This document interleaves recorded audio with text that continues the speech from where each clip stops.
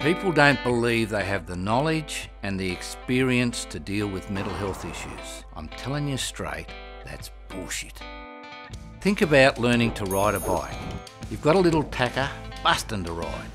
You put him on, and off he goes five yards and he comes a gutser. What's the first thing you do? You go over and you pick the little tacker up. You show him your care, you show him concern. We give them confidence. Give them a bit of direction and energy. It's exactly the same with mental health issues. Your perception when in the depth of depression is that no one cares and there's no future, just like that little tacker on the ground. He's had a great fall. Will he get on the bike again? What if he fails?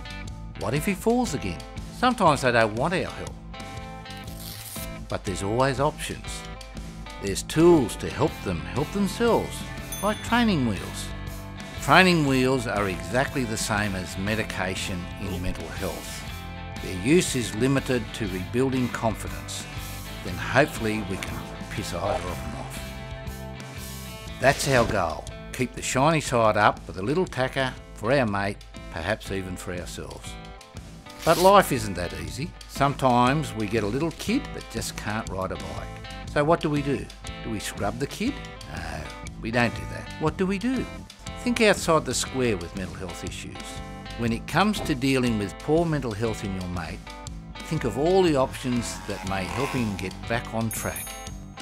Might be a four-wheel bike, might be a trike, and maybe it's that bad that the poor little tacker has to walk. Then what do we do? We walk with our little mate.